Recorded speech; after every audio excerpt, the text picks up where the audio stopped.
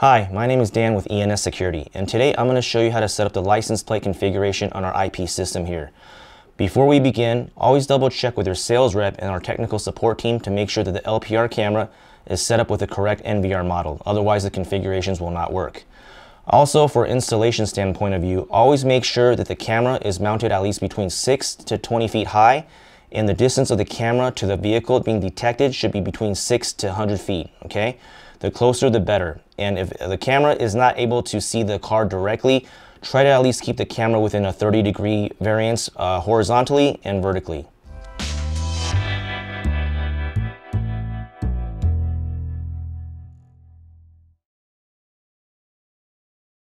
And now I'm going to show you how to set up the license plate configuration on the NVR side and also on the camera side in the web browser. Now one thing I want to mention is make sure that the Internet Explorer browsers that you're using, make sure that you install and download any plugins that asks you to and also make sure all your ActiveX settings are enabled on both sides, okay?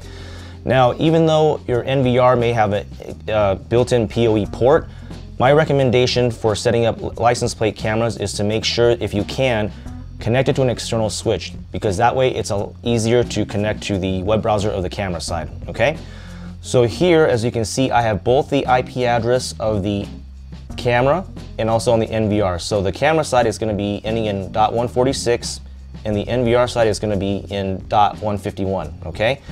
So make sure, of course, you're in the same IP segment, otherwise you're not gonna be able to detect each other, okay?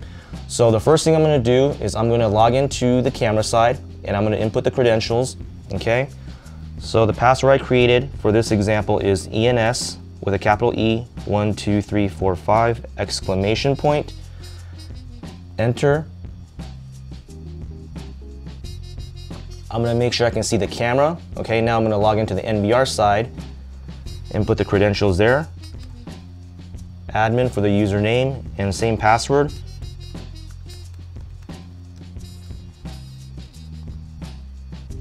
And the reason I'm doing this because you're gonna need to toggle back and forth between both the camera web browser and the NVR web browser to input the configuration. It will make a lot sense when I show you on the tutorial here, okay? So the first thing that you wanna do, as I said, is when you have the camera mounted, uh, one of the first things that you wanna do is to zoom in to the area that you want, okay? So as you can see here on the live view, there's a little button here, a zoom plus, and a zoom minus to zoom out, okay? So just make sure that when you're playing around with the configurations, the settings and the views, try to zoom in as close as possible and if you can, try to have a practice car there just to kind of be parked there so that way you have a frame of reference, okay? So that's one of the first things that you wanna do after you mount the camera is to zoom in to the area that you want, okay? The next thing that you wanna do is go to the setup menu, okay? And then under the system menu here, there's something called photo server, okay? And you're gonna see right now why you wanna have the NVR tab open, okay? So if you look at the photo server tab, you have a server IP, the server port, and some information that you need to put in. The server IP and the server port is actually the information you need to put in from the NVR, okay? So that's why you want, like I said, you wanna have the NVR web browser open so you can toggle back and forth between the settings. So if you go into the NVR web browser and then you go to setup, and then you go under where it says platform, under this tab where it says video, image data, you wanna make sure it's on, okay? And then you see the server address, which is 192.168.0.151, which is pretty much the IP address of the NVR, and then the server port is the 5073, okay?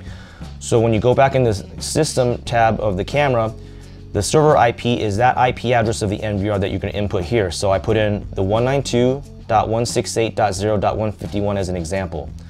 The server port is going to be 5073 as you saw in the tab of the NVR, okay? The platform communication type is going to be video, image, and database. And then the device ID, now here's where it gets a little tricky. Uh, there's not a lot of information that's given. So the device ID for a frame of reference, it has to be 20 digits long, okay? So uh, Digits 11, 12, and 13 have to be very specific numbers. 1, 1, 9, okay? So the first 10 digits can be anything, like all zeros as an example. And then everything after the 119, you can put whatever uh, digits that you want, okay? So I have the, the 20 digits here. The username is going to be the username of the NVR, which is admin, lowercase, and the platform access code is going to be uh, another way of saying the uh, password of the NVR, which was the ENS12345 exclamation point with a capital E, okay? Down here, you're gonna see uh, video and image database settings, and then you can check which uh, options that you want. So since we're doing motor vehicles, you can check that option as well too, okay? So once that side is done, uh, of course, network, this is of course where you set the network IP address of the camera to make sure it's in the same uh, IP segment as the NVR, but that should have been done prior to the configuration, okay? Next, you're gonna go to Smart. And then under Smart, this is where you're going to have uh, set the detection region of where you're gonna draw the box where it's gonna cover the photo uh, area of the license plate. Now keep in mind that depending on which browser you use, I prefer to use the Internet Explorer. Sometimes the browser may have plugin issues. So for example, like right here, sometimes um, it might just show kind of gray and you can't see anything. So you're kind of wondering how can I draw the detection region if I can't see that? If that's the case, no problem. Go back to live view. And then if you see here down here, there's a little button called setup wizard. Go ahead and click on that. And then you can see here, there's a blue box. Okay, that's the detection region. So you can actually redraw that and then there's a little checkbox here called enable horizontal reference for plate. So that's actually a line that you can actually draw a snap line over the license plate. Okay, so once that blue box is drawn, click OK, and then you should be all right. Okay, if no changes has been made, it's gonna state that as well. So once that side is done, just go ahead double check all your settings. Okay, and then of course uh, verify that you forget nothing. And then if everything's okay, then we're gonna go over to the NVR side. Okay. So we click on the NVR tab, and then we're gonna go to client side, go to intelligent mark, make sure that's on. We're gonna go to the camera side, and under camera, we're gonna go to the schedule, and then there's two recording schedules that you can set up. One's called the, just a basic recording schedule, and the other is a snapshot schedule. Now, one thing I want to mention, if you just do the event schedule, uh, when you do the snapshots, and you click on it, uh, you're not going to get a fluid video. So my preference is to use the normal schedule, okay? And you do that by clicking on edit, select normal, and then you copy to all the days that you want and then click OK. And then you can see the schedule here from Monday through Sunday is going to be all blue. Once that's done, click save and you're going to do the same thing on the snapshot side. Click edit, make sure everything is all normal and copy to all the days that you want. All right, so once that's done, then what you're going to do now is go to the platform side and then under the video and image data there's going to be some settings here okay? Remember earlier that we had the uh, the settings for the image uh, the server address and the port number where we put in the camera side. So you're going to make sure that's on okay? And then the server address again same thing is the 192.168.0.151 which is the IP address of the uh, the NVR itself. And of course you can get that information here as well under the network settings, okay? So once that's inputted, uh, server port is 50373 by default. Username is gonna be admin, and then the password is gonna be uh, ENS12345 with a capital E with an exclamation point at the end, or whatever you set it to, okay? And then you're gonna click save, and then next you're gonna go to where it says configure VIID local. Okay, so since this camera is set to D1, the channel ID, which is that 20 digit code, you're gonna get from the this side of the camera, okay? So under system and then the photo server, that 20 digit ID code that we inputted earlier, you're gonna copy that and you're gonna input it here where it says channel ID for D1, okay? Device type, you're gonna put license plate recognition and then you're gonna click on advanced and then it's gonna ask you to put in some parameters here. So longitude, latitude, uh, you can just kind of put in some random numbers. So for example, I put in 35 and 35 just to fill it in. The administrative division, uh, unless it's a specific division in that particular county or city, you can put in whatever numbers, but it's usually a uh, seven, six to seven digit code, okay? Location, you can manually type in whatever city that you have. The checkpoint, put into use, uh, whatever particular date that you have, you can put that in the calendar here. Uh, the checkpoint type, it gives you some options, for example, inner city, intra-city, or whatever it is that your situation is, so select that as well too. And the uh, type that you're using, you can just put as an example, security checkpoint. Checkpoint lanes, uh, since we're only covering one lane for one camera, we'll just put one. And the authority code could just be anything, a 12 digit code. And in this example, I put in uh, 12 nines. Once that's done, you click OK. And as soon as that's done, the status should go from offline to online okay?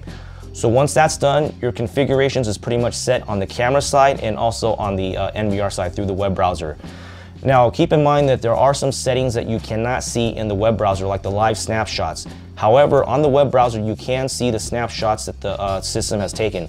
So for example, if you go to Smart, and then you go under where it says VCA search, you go under vehicle search, and then you select which camera, in our example, D1, okay, and then you select the starting time and the end time, and then the parameters, hit search, and as you can see throughout today, we had some examples of a plate capture. So for example, if I click on a specific one, like this white car, for example, you can see that the plate shows a particular plate number, okay? So that's how you search for it on the web browser and set up on the configuration side.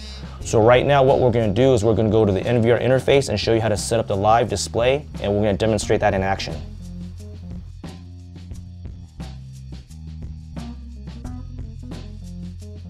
Now I'm gonna set up the configuration on the NVR side so you can see the live snapshot, okay? So before we do that, what I'm gonna do is I'm gonna go to the live view of the camera, right click on the mouse, and then I'm gonna go to where it says preview mode and then go to where it says smart, okay? Then on the right hand side here, you can see some snapshots have already taken place, but in order to configure that correctly, I'm gonna click on the little gear icon, enter my password of the recorder that I set up earlier,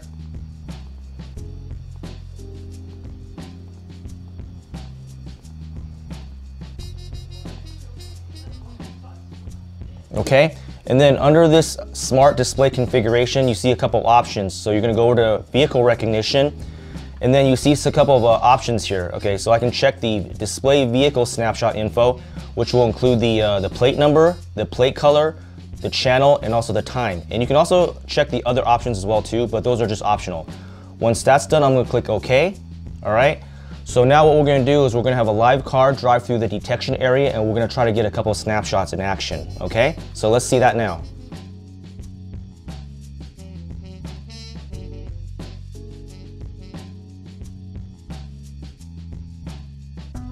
Okay, so as you can see, it just got it. So the license plate read 7SFC401. So in order to do the playback, I'm gonna double click. And then as you can see here, It got the plate number, okay? And that's how you do it. And that concludes our tutorial on how to set up the license plate recognition on our IP system. Once again, don't forget to like and subscribe to our YouTube channel so you can get notified on future videos and news. Once again, thanks for watching.